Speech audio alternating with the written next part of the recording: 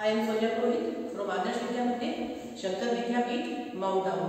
Today we are going to study a new chapter, chapter 7, Getting to Know Plants. We see different types of plants, different types of trees. Trees all are divided into different parts. Just like herb, shrub, we see in some type some plants are very short and thin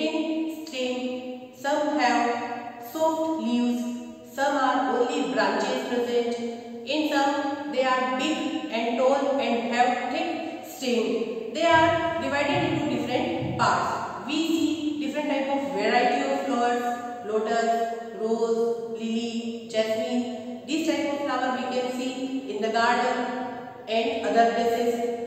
Different type of trees we can see just like banyan tree, babul trees, we can see every, everywhere.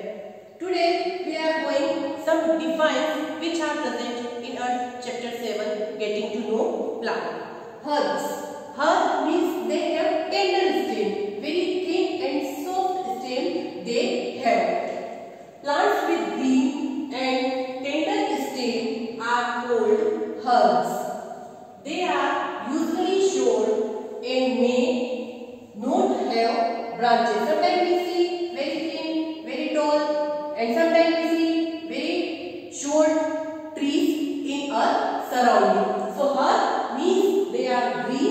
they have tender stem and after they usually show inside they show. We can see a surrounding. We will see all things in the picture.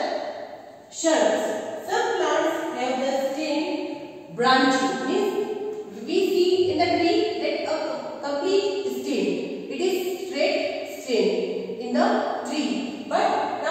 the the branches present. And we see that it is looking like thick part. And near the base. The stem is hard but not thick.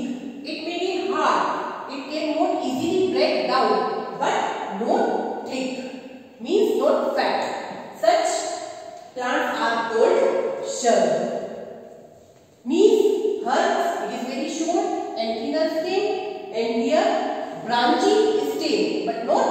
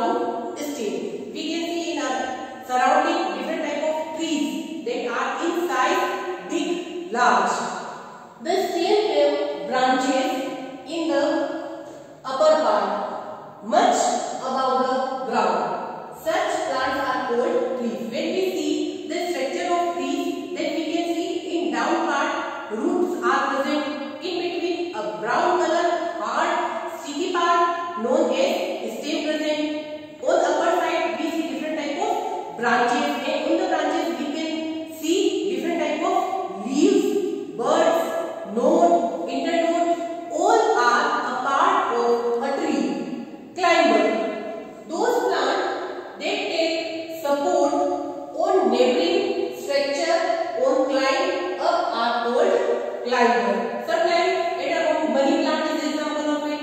We take money plant and after this we use rope and any other material and tie down upper side. They grow according to their climbing style. Creeper plant with weak stem. Very weak stem. We can break easily when we take in a break. And if you want to break, then we can break easily. They can